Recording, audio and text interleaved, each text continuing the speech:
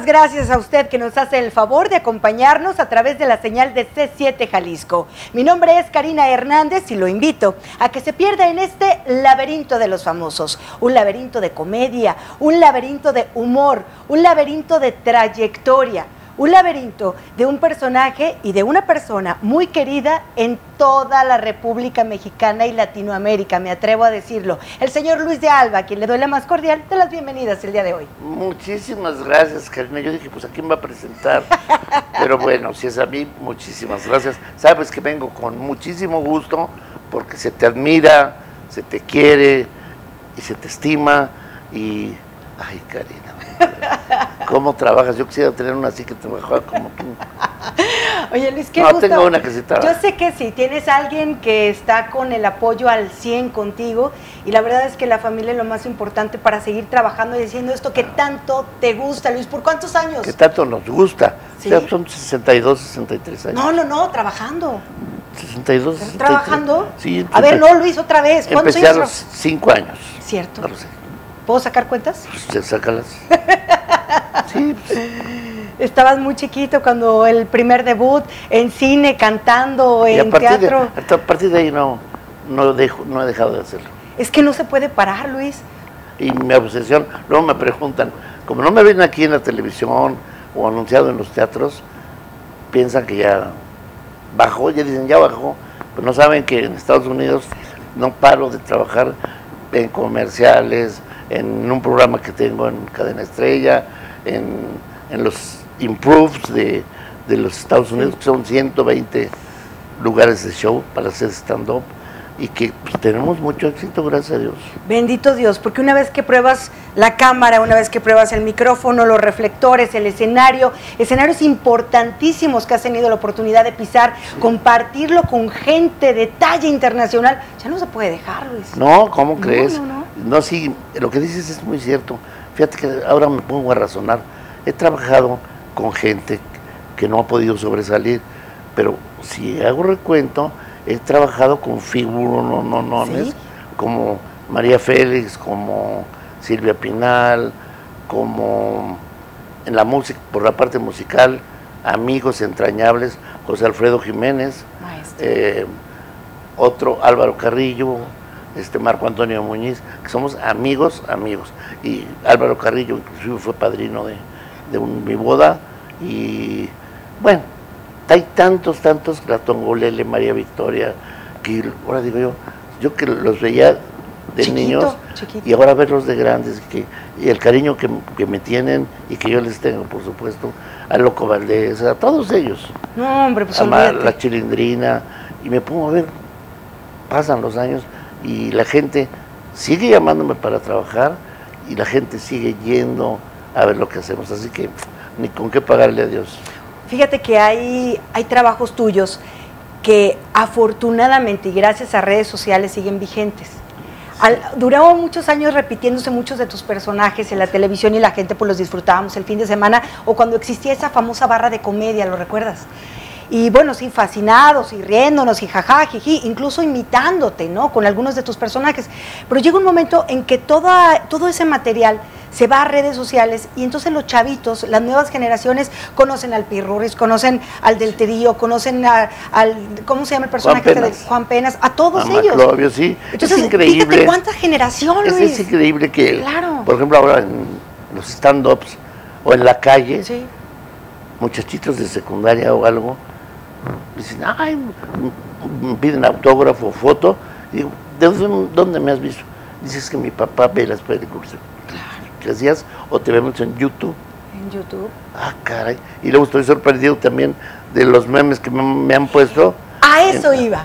Justamente, y quiero que me lo platiques, porque de repente esto ha sido una fascinación por toda la gente, sobre todo los de 30 para arriba, el, utilizar el WhatsApp y que te lleguen los chistes a través de una imagen, el famoso meme, y que, por ejemplo, uno de tus personajes como el Pirurri sea tan famoso, tan inmensamente famoso en los chistes, Luis. que tú pues ni inventas, que tú ni haces. No, no, no, pero si yo me, me veo, por ejemplo, una foto de mía de Perruris y una foto igualita de traje y con peluca de un, candidato de, de, la presidencia.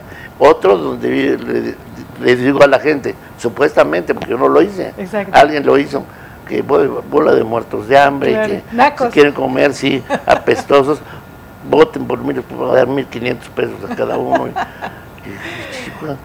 pero con puras majaderías. ¿eh? Claro. Ya les aclaré que no, pero pues total. No, bueno, e, es que el meme lo puede ser cualquier persona. Aquí lo trascendente de esto es cómo tus personajes son tan queridos en México que la gente utiliza tu imagen para sacar chistes. Eso es lo trascendente. Igual, y fíjate, ¿sabes qué? Me, sí me da orgullo.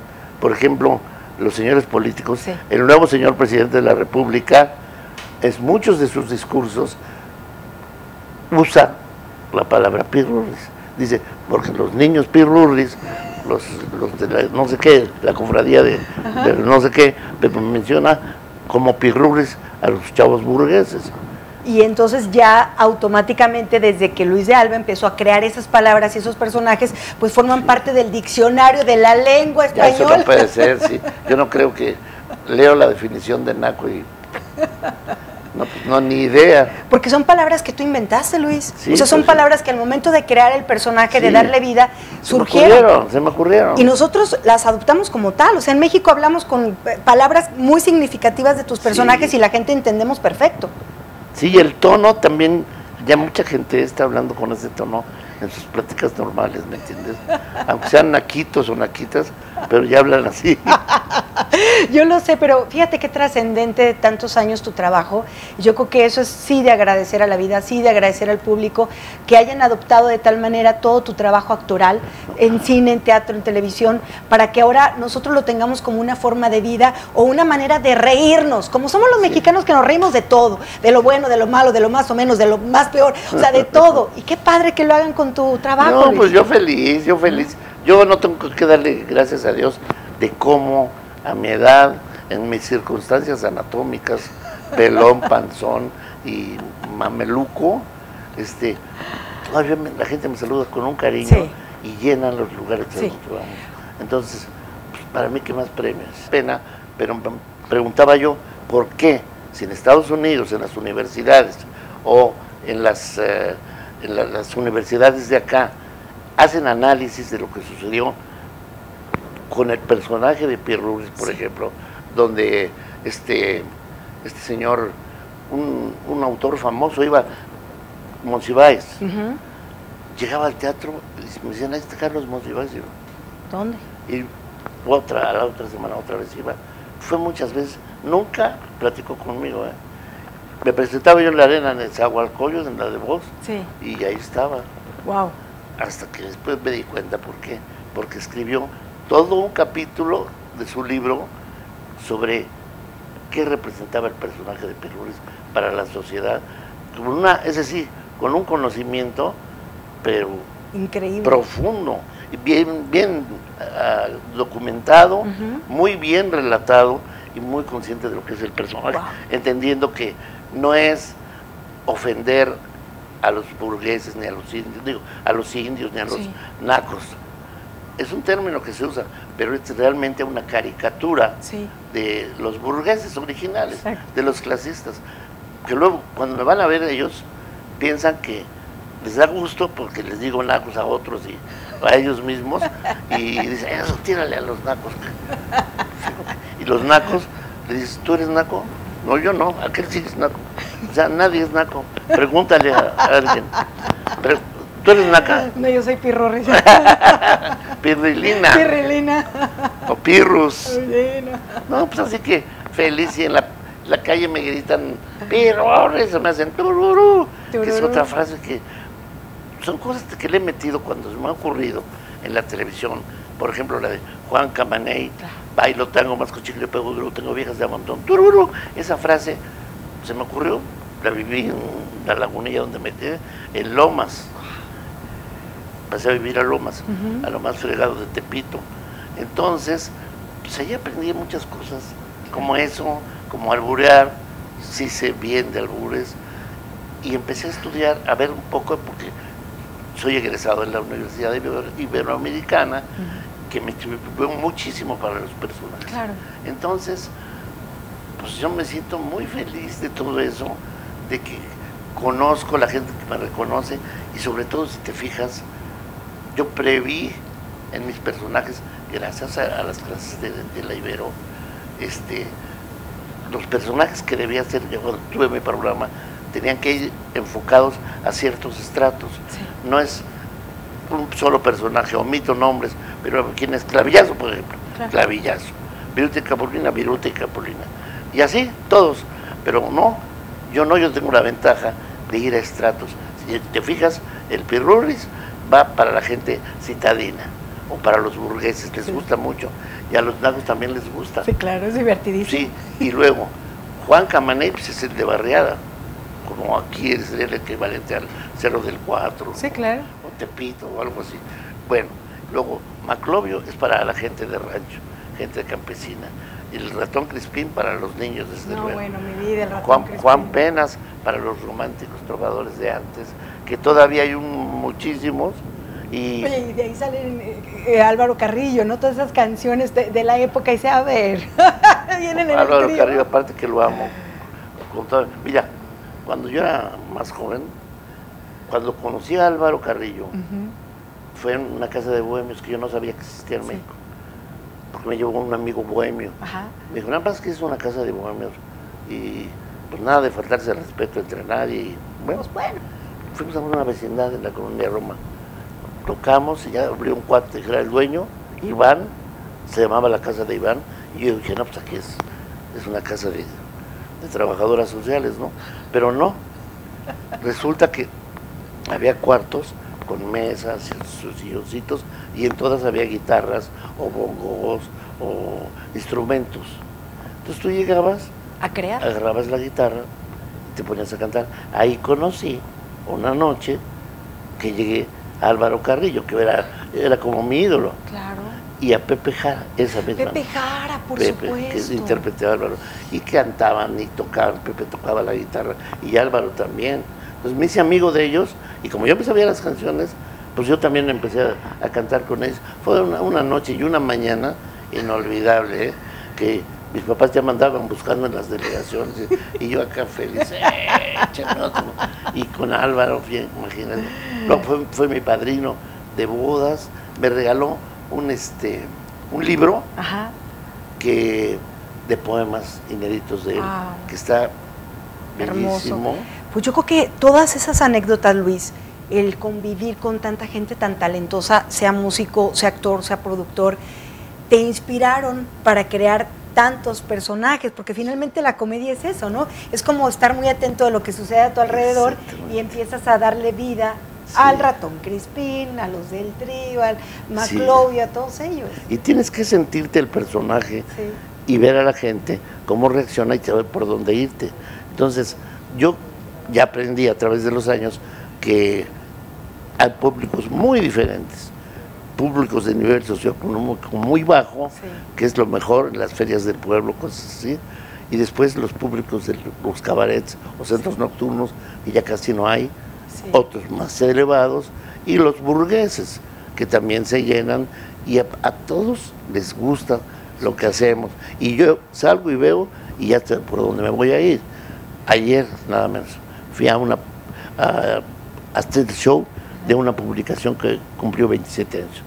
Entonces, había mucha gente, todos muy serios, porque pues, la empresa es muy seria, no permitían ni tomar copa ni nada. Entonces, todos bailaban y todo. Y ya cuando se leyó, y empecé a hacer un personaje del hermano Sol, y noté, noté que no había mucha facilidad de que se rieran. Sí porque como estaban los directivos, como que les daba pena o no sé qué. Pues se estresa, ¿no? el ambiente, como que estás preocupado de estar en los jefes, ¿qué hago? No, pues a mí eso realmente no me importa. Solo recibí el mensaje de que no me metiera con ellos. Pues, nunca me meto, solo que alguien me grite algo, entonces sí me meto, pero no es algo a ofender a la gente. Pero es un respeto que tiene razón el organizador, porque sí haz de cuenta que estábamos en el teatro y estamos en un campestre. Y, ya después, poco a poco, los fui agarrando, los fui agarrando. Y las que más se reían, ya con cosas más fuertecitas, eran las mujeres. ¿Por qué son así? Bueno, a lo mejor estábamos a gusto, estábamos de modo, no, tal vez no llevaban al marido, tal vez no llevaban... No, no llevaban al marido, ah, eran, las compañeras de trabajo. Nada más, nada más, es que en los teatros a veces yo veo que hacen... Porque con quién van a Como qué pelado, pero al rato ellas son las que están riéndose. Y, pues claro. Allá en Europa, en un estudio sociológico que hay del gusto, hasta la atracción masculina, allá lo que rifamos somos los gorditos. ¿Ah, sí? Si no, los gorditos pelones somos los efectivos. somos la onda. No, ahí William Levy, ni lo pelan. Aquí también, oye, foto y foto y selfie para todos lados, Luis. Apenas das dos pasos cuando ya, ah, don Luis, dale foto, selfie, autógrafo, a ver, autógrafo aquí. qué bárbaro. Sí, luego me han pedido así. Me da pena, pero pero me aguanto. El día de hoy nuestro invitado, el señor Luis de Alba, que sin duda son grandes anécdotas, grandes historias. Oye Luis, pero ya hace rato platicábamos de los mejores teatros, los mejores escenarios que has tenido oportunidad de pisar como actor. Pero ¿qué tal tu parte de cantante? Yo sé que desde chiquito andabas en un coro aquí, en un coro allá. Cantando, empecé cantando y sigo cantando. Nada más que en el cambio de voz, un maestro italiano que tenía me había puesto Don Emilio Escarra en la vida burreta, un italiano que sabía mucho y yo tenía tesitura de soprano, voz de mujer, de niño. Y cuando vino el cambio, cuando cumplí como 12, 13 años, dijo ya no, que no cante nada hasta que le cambie la voz. Y entonces pues ya no cantaba yo, ni en mi casa quería cantar y me decía, no, no cantes, hasta que el maestro diga que ya te cambió la voz. Pues, como a los 17 años ya estaba más o menos cambiada. Intentaba yo cantar y ya no tenía el vibrato, ni las notas, ni la práctica. Y luego entendí por qué. Porque es un músculo también.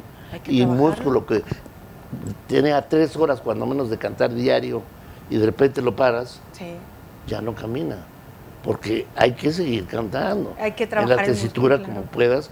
Bueno, sí canto, soy entonado y soy cuadrado. y, me encanta. Aparte tienes oído musical, Luis, y te pues encanta, te encanta. Me encanta, no me gusta, me encanta. es mi hobby el piano, la música romántica. Soy un apasionado de eso. Lo sé. Y en la parte musical, te topaste con gente muy importante, con gente... Pues imagínate. Pues nomás como con Álvaro Carrillo tengo, pero Pepe Jara noches, ¿eh? ahí me puse a volver medio vago. Pepe Jara, José Alfredo, el día que lo conocí. José Alfredo, pláticame, José. En su, en su, un amigo mío de la Asociación de Actores era el secretario particular del secretario general y era mi amigo y era compadre de José Alfredo. Y una tarde que lo invitó a comer, él ya vivía con Alicia Juárez en la colonia, en un departamento. Y dijo, mira, me, invitó Álvaro Carrillo, es digo, José Alfredo, ¿quieres conocerlo? Le dije, pues compañero. Y a su esposa, que era, bueno, su mujer. Alicia. Alicia. Y entonces ya llegamos, ella había preparado comida y desde luego, pues para abrir apetito, un tequilita, dos tequilitas, tres tequilitas, y al rato empezó a surgir la guitarra, empezó a platicarme muchas cosas de lo que realmente eran sus canciones y de que ya no paraba, hace cuenta, agarrar a la guitarra y y entonces mi compadrito, el que me llevó, que era también compadre de él, pues también era artista de Luis Nelly, una famosísima pareja de baile. Y yo también canté mis canciones que me sabía, que le gustaron a José Alfredo. Y pues, ¿por qué no se dedica a, componer? Digo, no, José Alfredo, ya estoy en otra onda. Pues igual, pasaron las horas, llegó la mañana, la tardecita, y Alicia me impresionó tanto porque hizo de comer. Luego nos dio de cenar. Ay, no, bueno. Luego, como a las dos y media, como debe ser toda mujer, como a las dos y media, tres de la mañana, muchos chicharroncitos y algo así. Y ya, como a las dos y media, pues ya a comer un poco más. Y ya como a las cuatro ya todos, así. igual en mi casa, uh, las delegaciones, la cruz, ¿dónde estará mi criatura? ¿Dónde estará la criatura? Oye, pero qué padre el haber compartido con esa gente tan talentosa y que la gente también quiere mucho y que sus canciones van a trascender por toda la vida. Marco Antonio Muñiz, Marco Antonio, claro. Armando Manzanero, en su casa en Mérida. No sabes, Armando y yo, quiero que sepas que jugábamos tenis en un club en México. Eso sí, con los uniformes americanos, de tenistas profesionales y nuestras raquetas también. Pero nos, citábamos a las dos, ese cuenta. Pues, ah, somos tenistas y empezamos a bolear y a tomar clases. Dice que ya a la hora y media que empezamos el solecito a salir, o la una, me decía, mi Luis, vamos a, a, ver qué va a haber de comer, yo tengo hambre.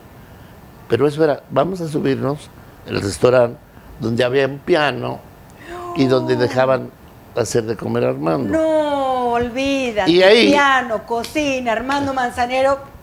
¿Sí has probado la comida de Manzanero? Sí. Ah, qué delicia.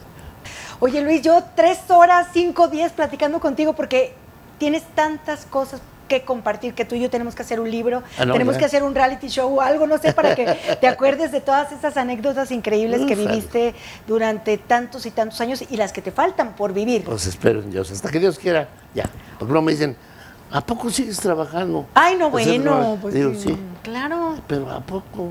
¿No te dan ganas de irte a descansar? Digo, sí, pero al panteón. Claro. Eh, hasta que Dios quiera, yo voy a estar. La ventaja de mi profesión es que a la edad que sea, puedo continuar trabajando. Te reinventas. Sí, te inventas Te reinventas. De viejito, de vieja o de lo que sea, pero parado no a quedar. No te vas a quedar. Y por lo pronto, ¿qué te parece si invitamos al público a que nos acompañe? Señores, señoras, amigos, vayan el viernes 6, sábado 7, o el 13 viernes, 14 sábado, al palco.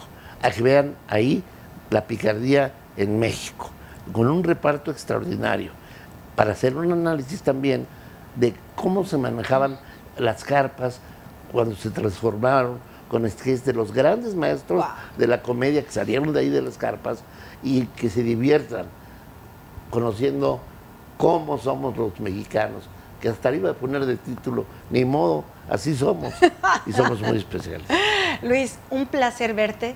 Gracias por compartirme tantas anécdotas de vida que me encanta escucharte, me encanta aprender de ti. Gracias por estar aquí, por platicarnos todo y bueno, ya sabes que esta es tu casa. Al contrario, muchísimas gracias a ti por tu entusiasmo, por tu belleza y por tu trabajo. Muchas gracias. Trabaja mucho. Vámonos pues a trabajar, pues ya que. Pues ya, dile a tu marido que ya te saque de trabajar. Que ya, por favor, a ver a qué hora. Te, vas a ir conmigo y con mi mujer. ¿Sí? Van, a ser una pareja. Las cúcaras nuevas. Las cucas, las cucarachas. ya nos va a contratar el señor Luis Alba. Ay, no, no, no. Nosotros nos vamos. Que tenga un excelente día. Disfrútelo. Gracias por acompañarnos. Mi nombre es Karina Hernández. Esta es la señal de C7 Jalisco. Y este es El laberinto de los famosos. Ha ha ha.